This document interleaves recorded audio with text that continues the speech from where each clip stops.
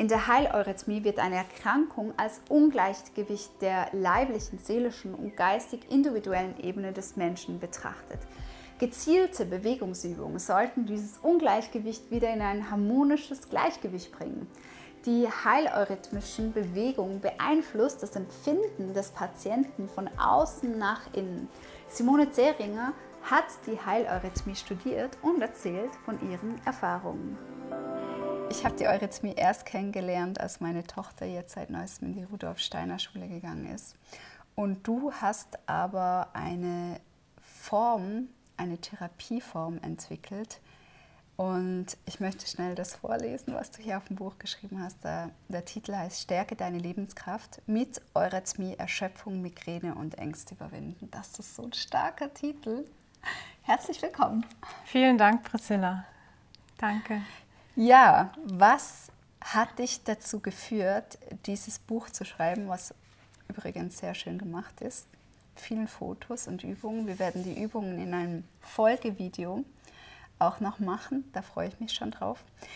Was war dein Weg dahin in diese Lebenskraft? Ja, ich habe, ähm, als ich Kind war und später als Jugendliche, einfach nie genau gewusst, was ich machen will. Mir war Rhythmus immer sehr wichtig und Tanzen, Bewegen. Ähm, aber irgendwie gab es da eigentlich, ich kannte Eurythmie auch nicht wirklich mhm. aus der Schule. Und äh, später bin ich dann auf wundersame Wege dahin geführt äh, worden, die Eurythmie dann zu studieren. Also ich war dann noch in meinen Anfang 20ern. Und ähm, um die Eurythmie-Therapie zu erlernen oder die Heileurythmie, wie es so schön heißt. Ähm, mhm. Das ist hier in der Schweiz auch eine registrierte Methode, eine anerkannte Methode. Und, ähm, und da habe ich auch einen Master of Arts gemacht in dieser Therapieform. Also die ist auch wirklich nachgewiesen, wirkt es auch. Und das wissen wir ja auch heute, dass ähm, die Bewegung auf die Seele oder auf die Psyche eine Wirkung hat. Mhm. Und wir haben da in der Eurythmie so ganz besondere Bewegungen, die auch äh, auf bestimmte Dinge einfach wirken. Und äh, da bin ich dann dazu gekommen und äh, schreiben tue ich sowieso gerne. Und deswegen bin ich dann zu diesem Buch auch gekommen, das schreiben zu dürfen. Ja, mega. War es für dich, hattest du irgendeine Veränderung gemerkt? Weißt du, du, für dich war es jetzt ein Studium, aber so ein praktisches Studium hat ja einen enormen Impact auf die eigene Entwicklung. Kannst du uns da ein bisschen mit reinnehmen? Ja, auf jeden Fall.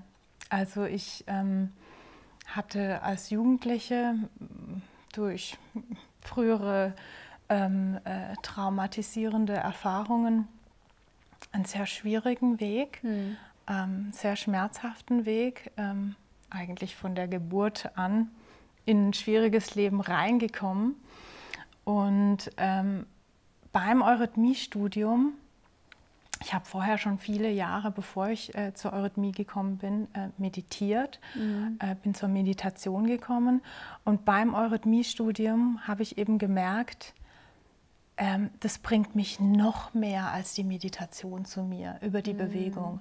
Und ich habe wirklich angefangen, warme Füße zu bekommen. Ich habe immer unter kalten Füßen gelitten, was übrigens ein Zeichen dafür ist, dass man nicht geerdet ist, wenn man kalte Füße hat. Mhm. Und Erden ist so, so wichtig, weil wenn du was manifestieren willst, wenn du bei dir bist, dann ist, bist du warm automatisch. Und äh, wenn die Füße kalt sind, dann bist du wie nicht hier, dann fehlen dir Wurzeln. Und ähm, das ist so wichtig, dass wir das stärken und dass wir das haben. Und die haben mir früher so viel gefehlt. Und die sind einfach wirklich kräftig dadurch geworden, durch dieses Eurythmie-Studium. Also es war auch ein Selbststudium. Mhm. Hat mir sehr, sehr viel gebracht. Ja, das glaube ich, sonst wärst du heute nicht noch so begeistert. Ähm, was ist so die Philosophie hinter der Eurythmie? Was, wo ist, ist der Ursprung? Was, wie kam es dann schlussendlich zu diesen Schlussbewegungen, die man tatsächlich auch mit den Organen in Verbindung bringt, mit dem Lebensfluss? Also der Ursprung kommt von Rudolf Steiner. Mhm. Der hat ähm, gesagt, wir brauchen eine Bewegung, die seelisch ist und keine seelenlose Gymnastik. Mhm. Und ähm, er hat auch gesagt, das Yoga könnte sich dahingehend verändern, dass das mit mehr Seele gemacht wird. Und zwar mit dem Licht. Und das Licht, ähm, also er sieht, äh, Rudolf Steiner hat die ähm, Bewegungen als Lichtbewegungen gesehen. Also mhm. Also der, wenn ich spreche, dann bewegt sich in dir was. Mhm. Das sehen wir aber physisch nicht. Gedanken, Gefühle. Ähm, und, und so hat er das gesehen. Also wir be bewegen praktisch in der Eurythmie mit der Vorstellungskraft, dass wir wirklich die Wahrnehmung in den Körper hineinrichten. Mm. Und das ist mit Licht gemeint. So mhm. hat eigentlich jeder, wir sind heutzutage in, einer, in einem Lichtzählenprozess. Und so hat jeder wie so seinen eigenen Projektor in sich. Mhm. Und du entscheidest, wo lege ich meinen Scheinwerfer drauf mhm. auf welches Licht. Mhm. Und, ähm, und da gibt es natürlich die Natur und die ist in einem ganz besonderen Licht oder eben der Himmel überhaupt, wenn man rausgeht. Das hier ist ja alles Materie. Mhm. Das haben wir erschaffen durch unsere Vorstellungskraft. Aber die Natur eben so im Einklang zu sein und auch mit ihrem Einklang zu sein, ich denke, das ist so der Ursprung und die Idee dahinter, das sozusagen über die Bewegung von einer äußeren Bewegung nach innen hineinzunehmen. Mhm. Mhm. Ja, spannend. Es ist alles Bewegung. Ich habe das erst ähm, gemerkt, der Unterschied zwischen Schmerzpatient sein, wo eben alles so zusammenkrampft die ganze Zeit und einfach so viele Emotionen und Gefühle, also nicht nur wirklich ähm, grobstoffliche Giftstoffe, sondern auch das Feinstoffliche sich im Körper manifestiert. Und durch diese Reinigung durften nicht nur die Giftstoffe losgelassen werden, eben das, das Grobstoffliche, sondern man merkt auch, dass das Feinstoffliche ja rausgehen möchte. Und ich kann mir vorstellen, dass so eine äußere Bewegung diesen inneren Fluss auch anregt. Also ist es in etwa so? Ja, genau, über die Gedanken und über die Gefühle, mhm. weil wir sind ja auch ein Wasserkörper und ähm, wenn wir unsere Gedanken bewusst einmal führen am Tag mhm. und das natürlich trainieren über einen ja. längeren Zeitraum, eben über rhythmische Wiederholung, drei Monate lang, dann wirkt es auf unser Unterbewusstsein. Mhm. Und wichtig ist es aber, und das möchte ich hier gern dazu sagen, das in kleinen Schritten zu tun, wenn man was verändern will. Also wenn man in so einer Krampfsituation drin ist, dass man nicht erwartet, dass es sich sofort auflöst, mhm. sondern dass die Entwicklung eigentlich immer so ist, dass es auch immer wieder Rückschritte gibt und dann mhm. wieder weiter und dann wieder ein Rückschritt. Also es geht eigentlich nie kontinuierlich einfach nur bergauf, mhm. sondern man hat eben mit diesen Rückschritten auch zu tun. Und dann ist es genau auch richtig wichtig, da dran zu bleiben und sich nicht aufzugeben. Und mhm. ähm, ja, ich denke, das ist auch eine gewisse Art von Training eben für die Gedanken und die Gefühlswelt, dass mhm. man sich das auch wirklich bewusst macht. Und nochmal zu dem Wasser. Cheers, ich trinke mal einen Schluck. Gute Idee. Danke da ist es eben so wichtig, diese guten Qualitäten mit reinzunehmen. Ich weiß nicht, ob du von der Studie gehört hast aus Japan, wo man herausgefunden hat, wenn man beispielsweise eine Karte drunter legt mit Danke oder auf die Flasche Liebe oder so schreibt, dann ist das Wasser unter dem Mikroskop, hat das wunderschöne kristallartige Formen. Mhm. Und so ist es auch mit unserem Körper, mit unseren Gedanken. Wenn wir mhm. hier was Gutes hineingeben, dann verändert sich unser Körper über das Blut, über den Wasserkörper, mhm. eben das fließende Element, das sozusagen durch den ganzen Körper, durch die ganzen Zellen ähm, weitergegeben und durch gebracht wird, in, weil es ja überall durchfließt, Mhm. Ja. ähm, äh, können wir sozusagen auch zu dem werden, zu diesem wunderschönen, kristallartigen, was wir unterm Mikroskop dann sehen. Mhm. Und aber wenn wir natürlich immer wieder Schlechtes denken oder Hass auf so eine Flasche schreiben oder Verurteilung, und wir verurteilen uns ja ständig selber, ohne dass wir es merken, weil wir 95 Prozent unbewusst sind, dann, ähm, dann hat es sehr eine schlechte, sieht es sehr schlecht und, ähm, unter Mikroskop aus, die, die ähm, Wasser, also das, die Formen. Dann ist es so verklustert und einfach nicht mehr so schön. Ja. Ja, das ist mega spannend. Ich habe da auch mal eine Doku geschaut. Ähm, Wasser als Informationsträger. Genau. Und wenn man eben bedenkt, dass wir mehrheitlich aus Wasser bestehen, dann wird einem klar, wie wichtig das ist, was wir für eine Botschaft signalisieren. Im Außen und im Innen. Ja. Ja, spannend. Also wenn du so weiter erzählst, kriege ich natürlich immer mehr Lust, nachher die Übungen mit dir zu machen. Sehr gern, ich freue mich sehr. Ja. Was würdest du sagen, war so die größte Erkenntnis für dich als Therapeutin? Aus dem Kopf zu kommen, ins Herz hinein. Und zwar, wir benutzen ja den Kopf, wir sind von klein auf drauf konditioniert worden, den Kopf zu benutzen in der Schule, das Schulsystem, überall. Und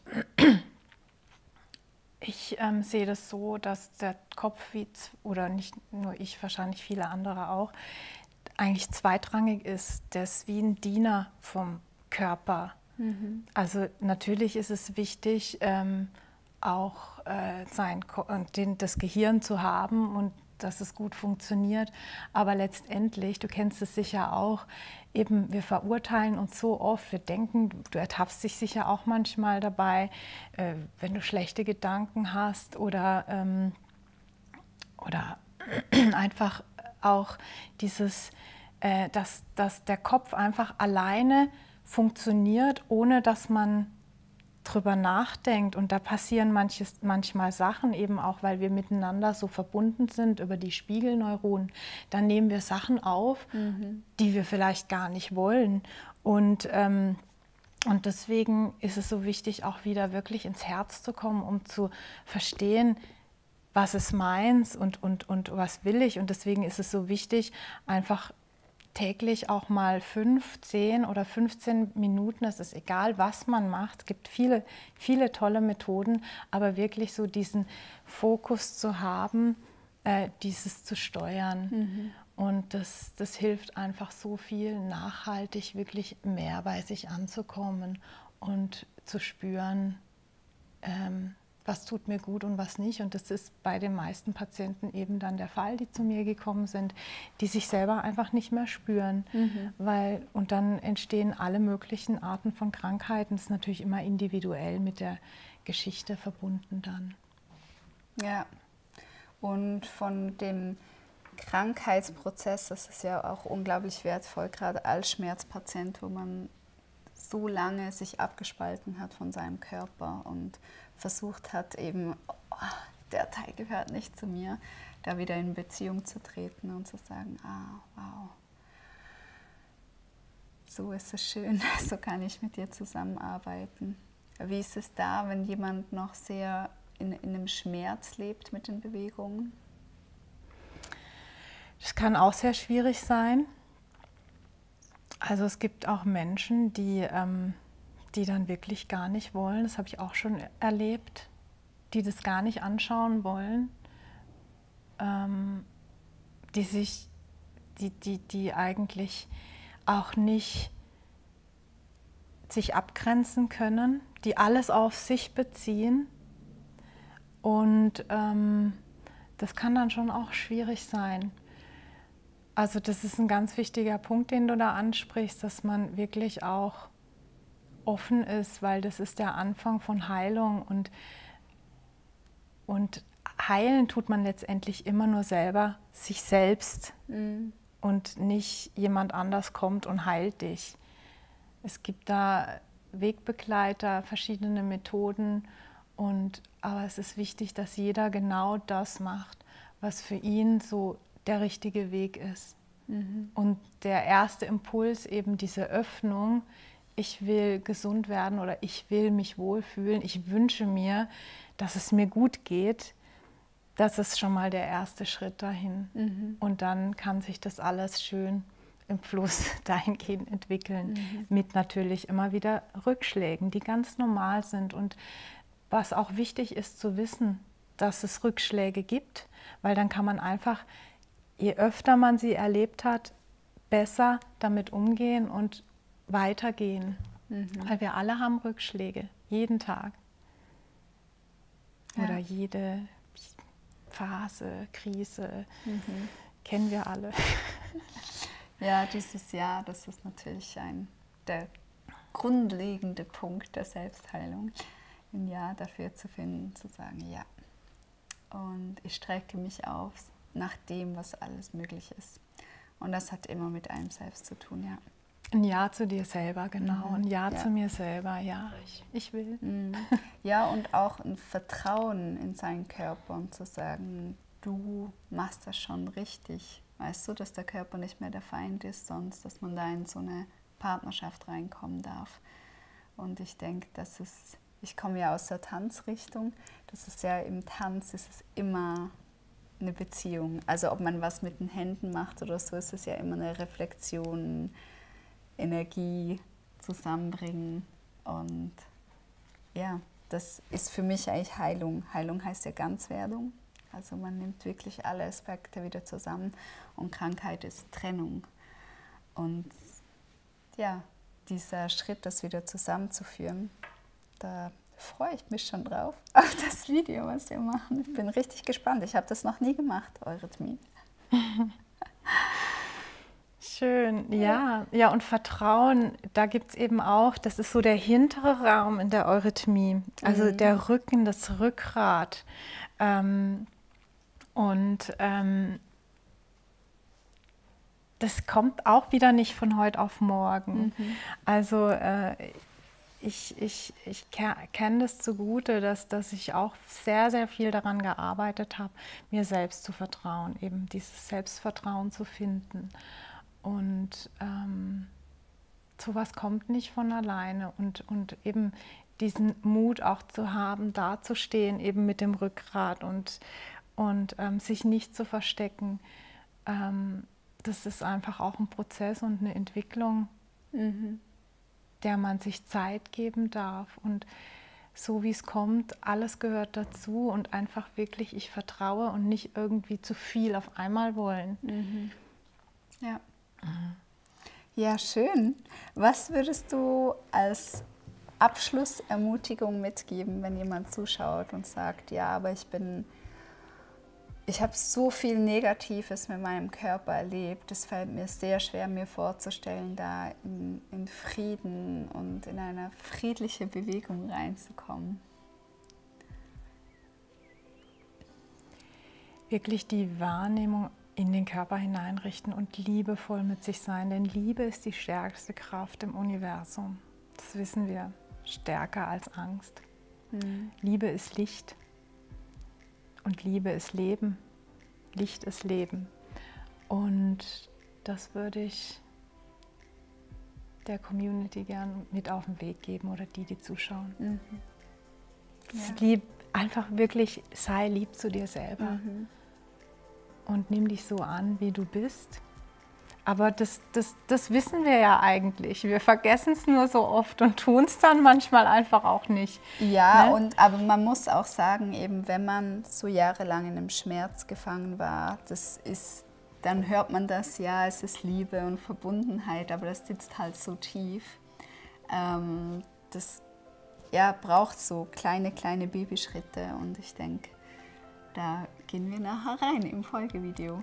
ja, gerne. Ich freue mich. Da reinkommen kann. Ja, vielen Dank, Simone.